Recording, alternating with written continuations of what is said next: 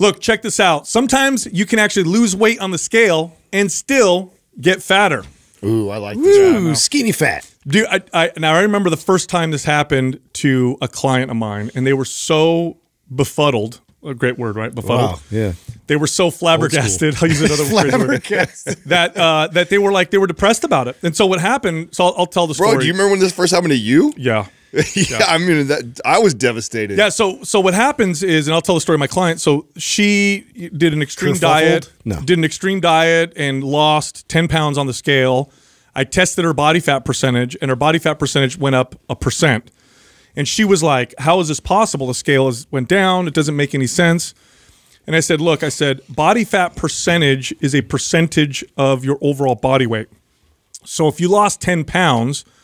But seven pounds was muscle and three pounds was body fat, you are smaller, but now your body fat is a larger percentage of your overall body weight because you've lost muscle.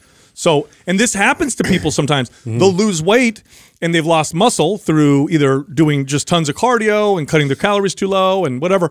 And then they are smaller but flabbier versions of themselves with a slower metabolism. They can't figure This out what was happened. always a hard conversation when you get the body fat dunk tank uh, to come in Yeah, and that's what I do these bring up. competitions and um, yeah, and that would be the information that they would receive was like, wow, but now my my my entire composition of body fat increased. Like, how is that even possible? this didn't ju- this didn't just happen sometimes. This happens most of the time. Yeah. And I'll never forget when I brought the dunk tank in for all my trainers. So we did a competition. So this is when it really came full circle Oh, for this me. is hitting the so I kind of trainers. oh bro, so I kind of seen it with clients and when you when it's a client s- part of that is you're wondering if oh maybe they the, the adherence, right? Maybe they weren't listening to what you said or maybe they weren't training that hard or maybe whatever, right? You're, you're you're kind of as a trainer you're going like, "Oh, I wonder how honest they're being with me about what they said they were doing." Well, I did this competition. At this time, I have like 20 some trainers. I believe Ju- Justin's part of this group. And there's like 20 something trainers. We decided to do, I put money on the line, you know, who can get, you know, the change, the, the greatest change in body fat percentage over a course of like three months. And so everyone's all in on this. And when we go and get dunked, I'd say more than half of my trainers, including myself on the first one, my body fat percentage went up. And I mean, this is after me like consistently dieting, training consistently, not mm-hmm. fucking up anywhere. And I was pissed. And I remember everybody thought the dunk tank was inaccurate. But what it really highlighted is how easily you can overtrain and undereat. Yep. Even people that are that that advanced understand nutrition and exercise really well. How what a fine line that is when you are in a caloric deficit and and you're also training like 5 7 days a week like mm-hmm. most of these trainers were. How easily you can drop 10, 15 pounds on the scale, and all it takes, right? You lose 10 pounds on the scale. All it takes for the body fat percentage to go up in a situation like that, it's not as difficult as you think. 10 pounds come off the scale, and six of it is muscle, mm-hmm. and mm-hmm. four of it's fat. And you got fatter, mm-hmm. even though you're 10 pounds lighter on the scale. This was mind blowing for all my trainers. And a lot of them were debating, oh, it's not true. I look better. I feel better. It's like, nah, bro, you lost muscle Speed because is not in your benefit with with losing weight. well, what happens is that it, what happens is, and this happens to clients, it happens to trainers, is they decide they're going to get shredded or lean out, yeah, they overdo it. and they re, yeah, they they cut back dramatically on calories, they mm-hmm. increase activity, And then they just watch the scale. You're and in they a wa- starvation state at that point. Your body's trying to reserve as much energy as and it's possible. it's deceiving because this not only does the scale go up, but you get smaller. Yeah. You know, your your pant your your yeah, pant feel buckle. different. Yeah, you look different. So you start going like, oh, it's working. I'm going the right the right direction, not realizing that you're you're losing muscle, okay, as fast as you are losing body fat. Yep. To put it differently, just so if someone's confused watching this right now, so 20 pounds of body fat on a 100 pound person is 20% body fat, which is for a man that would be high body fat percentage. Okay, so if you had a 100 pound guy, 20 pounds of body fat, he's at 20% body fat. That's a lot of body fat for someone that weight. Now, if you took a 200 pound man who had the same amount of body fat, 20 pounds of body fat, it's 10% body fat. That is lean. That's a six pack on the 200 pound man. So that's kind of how it works. On the flip side, you can gain weight on the scale and get leaner That's right. and get a leaner body fat percentage. So if everybody watching this right now lost zero pounds of body fat but gained 10 pounds of muscle, your body fat percentage would automatically drop because now that amount of body fat that you have on your body is a smaller percentage of your all body weight, overall body weight. And this is why oftentimes I'd get clients whose weight would go up a little bit on the scale and they couldn't understand why they would keep getting compliments that they were looking leaner. They like look better. Yeah, like this is so weird. My coworkers keep telling them I look leaner, but I gained like three or four pounds on the scale. How is this possible? I love this conversation because this was a very pivotal moment for me as a trainer because it, it completely changed the way I communicated this to my client, my weight loss clients, my clients that wanted to lose 50, 40, 50 plus pounds of fat. And this is this is the beginning of when I would start having this conversation of, okay, mm-hmm. I know you hired me to lose 50 pounds, but what I'm going to tell you right now is this first month or two, I actually don't want to see anything come off the scale. Mm-hmm. Where just a couple years before that, you know, I was on I was in a hurry to show them weight loss. So they would re-sign with me. It was like, oh, you want to lose 50 pounds. So they let's say they bought 10 sessions. I got a month with them. Okay. I gotta well, show 'em some I gotta scale. show them some results. Yeah. And so cut the calories, cardio, train them. And then at the end of the month, I'm like, we did 10 pounds. All right, let's sign up for some more. And then before you know it, you hit this hard plateau or you go do the body fat percentage and realize, oh shit, they got fatter. So this was a, a complete shift in the way I looked and trained my clients uh, going forward. And I started telling those clients that wanted to lose weight that, listen, I know that's your ultimate goal, but it's body fat that we really want to lose. That's it, because you could cut your leg off and lose 20 pounds. Right. That's not the kind of weight that you want to lose. It's about body fat percentage. And the difference between a lean, you know, if you're a female watching this, if you're a woman and you're like, I want to get down to, I don't know, I'll make up a number. I want to get down to 110 pounds. Forget that for a second. What you probably want is a lean body fat percentage. Right. And the weight on the scale is a bit arbitrary. It doesn't mean much. I've talked about this uh, many times on the podcast, but I used to have this female trainer that worked for me, and she was just she was lean and sculpted, and she lifted weights all the time, very athletic. And I would bring her in my office oftentimes to to help sell memberships and personal training. Now she wouldn't come in and sell the programs. It was usually when I had a, and this typically would happen with women because they were a little bit more reluctant to want to see the scale go up at all. And typically it's because I'm showing them the, weights and I'm showing them the machines and we're doing a tour of the gym and they'll say something to me like, no, no, no, I don't want to bulk up. I'm not trying to build. I just want to do the treadmill. I just want to, and I'd explain kind of what we're talking about now. And then I'd do this challenge for them. And it was a very effective thing. It was an incredible sales tool. And I'd sit down with them and I'd say, I tell you what, I'm going to bring in one of my female trainers. And if you can guess her body weight within 15 pounds, I'll give you a free membership for a month. But if you can't guess, then you need to really strongly consider what I'm talking about. How does that sound? I'd be like, oh yeah, I'll, I'll guess. I'd bring her in, and she was this five foot one, lean, tiny waist, sculpted, you know, female trainer, and they would always guess like 100 pounds, 105 pounds. She was 130 pounds, but she was small because muscle's very dense. Muscle takes up about two thirds the amount of space that body fat does. Um, but this is a good conversation It's because a, it's a really good conversation Yeah. because this is I think this is one of the number one reasons why people struggle with fat loss because it's not as simple as we make. I know there's a lot of stuff right now where we you you hear the law of thermodynamics, right? You the calories in, calories out. That's all it is. Like, oh, if I'm you're eating this much, cut it down to this. But it's not that simple because if you take somebody, let's say they're maintenance, right? So they they don't lose or gain 2,000 calories. They want to lose X amount of pounds of fat, so they decide to reduce their calories. They drop down to 1,500 calories. Okay, seems fine.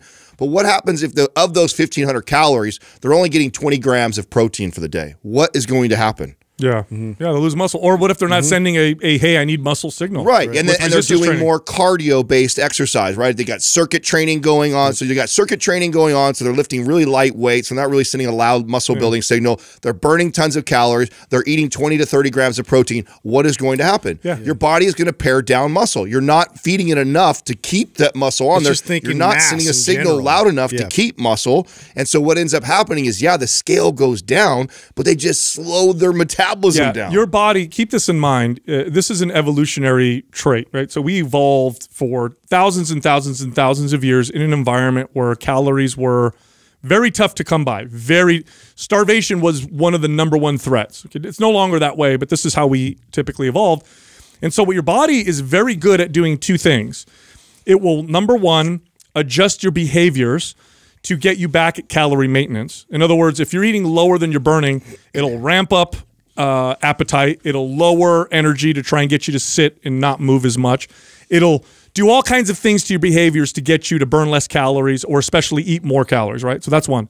The other thing that it does is it tries to change the calorie burn side of the formula by reducing your cal- caloric requirements. And one of the most effective ways to do this, besides getting you to not move as much, one of the most effective ways to do this is to shrink the size of your engine. So it's like a, it's like if you have a car, if I want to make my V8, you know, suburban burn less gas and I had the ability to snap my fingers and give myself a four-cylinder engine, that would be one of the most effective ways to do it. Was cut the engine. In fact, you know, newer models, in fact, they'll do that. They'll switch from four-cylinder to eight-cylinder depending on how you drive to reduce the amount of gas consumption. So what your body does is it's always constantly working its hormones and manipulating its own tissues and your behaviors to keep that balance. So that's the challenge. That's why weight loss is so hard and that's why it's so hard to maintain. So what we can do, the most effective thing we can do in this scenario is understand this and say, what are some things that I can do that will convince my body? So that's what you got to do. You got to convince your body to increase my calorie burn, right? Now I can force it by just moving more all the time, but your body's very, very good at making movement more efficient. It can actually learn and, and teach itself to burn less and less calories over time doing the same type of activity. And it's very good at doing this. The most effective way to manipulate the calorie burn is to build the size of your engine, right?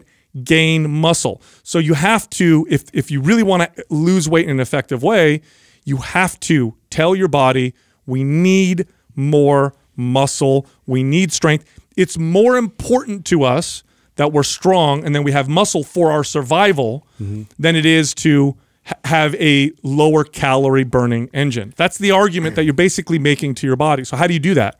Well, you lift weights. Yeah. Now your body, the stress that your body is is sensing is, whoa, we need strength. But that's not all. You also have to feed it appropriately because if you don't feed it appropriately, you can send all the strength muscle building signal you want. That's your right. body's like, we just don't have the capacity well, we, to we, build more we muscle. try to bring this up because I mean, this strategy. What does it provide you with? Like an increased appetite. You have more options and flexibility in your diet. Like having more strength for longevity. You yeah. avoid arthritises and pains and unnecessary, you know, abilities that are. You're just going to lose those abilities when you don't have strength, and you're not going to be able to do as much. And so, it, and plus, you get you're going to get better sleep. You're going to have more energy. There's just a lot more benefits with that strategy than to just pare down down, uh, you know, your overall mass and, and, and slim down. Yeah. And the, the other thing to consider too is when you are in that, when you understand this and you're like, look, the scale is one metric, but it's part of a big uh, pie that I need to take a look at. And, and a most more important piece of the pie is body fat percentage because that means much more than just the scale, as we just explained, performance and strength and all those things. Let's look at the whole picture. Let's consider that. Let's let's adjust our training nutrition around that. And then when we do, and we're sending the right signal to build muscle and we're feeding the body appropriately, what the body does, so let's say the body says, okay, I'm getting the message. We need strength, we need muscle. Oh, and we have the nutrients to do so. So we feel safe doing so. It doesn't stop there. Here's one of my favorite things that happens your body organizes its messenger hormones or just its hormones to do this, right? So, what kind, what hormone profile tells your body to build more muscle. Well, in men and in women, a muscle building hormone profile is a youth hormone profile. It's a similar one to the one you have when you're feeling great and you're in your teens and 20s.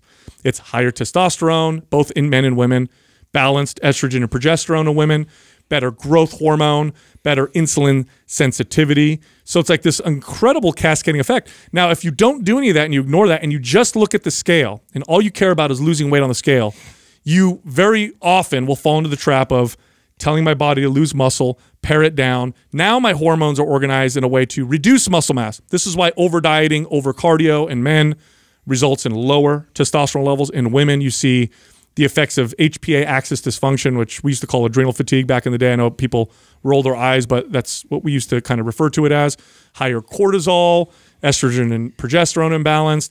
And then, as you said, Adam, you hit this nasty plateau. So you're like, oh, I'm eating 1,500 calories, I lost 10 pounds. Oh, no, it's not working anymore. Uh, I guess I go down to 1,200 calories, lost four, five more pounds. Now what? Go down to 1,000 calories okay and then you get to your goal and you're like uh, i gotta eat a thousand calories for the rest of my life? Yeah. Right. Like how is this gonna yeah, possibly you're you know, miserable. and that's why you know yeah. 85 plus percent put it all back on. Yes. Because at one point, and, and uh, do you blame them? At one point, you go, my goal was to lose 50 pounds. I busted my ass to get 30 to 40 off. Mm-hmm. I'm eating only a thousand calories a day. I'm training five to seven days a week. This is fucking miserable. Yeah, this is I'd rather be a little fatter. Yeah, I know. And then you just accept that's what happens. That's exactly what happens to people, but it doesn't have to be that way. But it, it, it and it really it, it's that shift. Like you have to start looking at okay, I know this is my my long term goal is to lose the fifty pounds or whatever it is, but I first want to build a, a metabolism that's going to help me versus working against your metabolism by instantly just cutting. Yeah, calories. it's like this. I'll, I'll use an analogy, right? It's like you got to paint uh, a, a huge fence. You got this huge fence you got With to happy paint. trees. and you're gonna just paint it with one coat. And you have a paintbrush. It's one of those little tiny paintbrushes that you could do little details on canvases with. And then you also have a, a roller or a spray, uh, you know, a machine that sprays paint, right? And what do you do? You pick the freaking paintbrush and you sit there. And after a year, you get like a third of the way there, and you're like, I'm done, man. I can't keep doing this. Taking for all you had to do was pick up the freaking the, the, the, the spray machine or pick up the roller and you would have been done in three months because you would have done something eh, it would have done it in a way that was far more effective. So this is and, and it's so frustrating. The reason why i brought this up is because people often do what you said adam is they eh, the oh body fat test it's not accurate. Oh I, it's it's lying. There's no way this could possibly happen. Oh no it happens. It's actually more often Well, yeah, because you're still doing work, and so you attribute the work as progress, Yes. even though you know might not be taking you to the desired outcome. yeah Hey, if you enjoyed that clip, you can find the full episode here, or you can find other clips over here. And be sure to subscribe.